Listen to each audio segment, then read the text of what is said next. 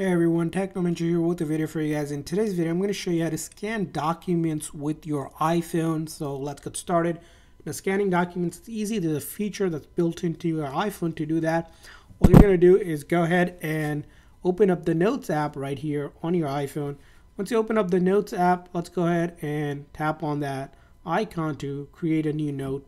From there on, what you're going to do is click on that uh, paperclip you might also see a camera icon here if you're on the older version, but on the latest iOS 18 version, it's a paperclip.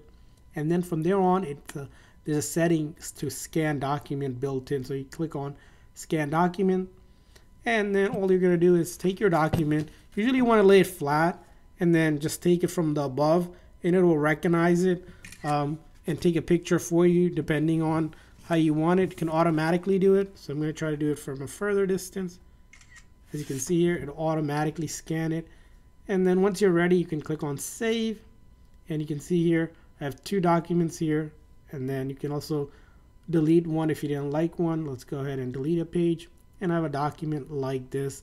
And then with this one, you can go ahead and click on to email or share or put it, uh, mark it up, uh, print, whatever you want to do with it. But that's going to be how you can go ahead and scan any documents on your iPhone. You can also see this option that gives you to allows you to also save to files. Like for example, if we save to the Files app from the notes, you can also open up in the files and then go ahead and let's take a look at this one.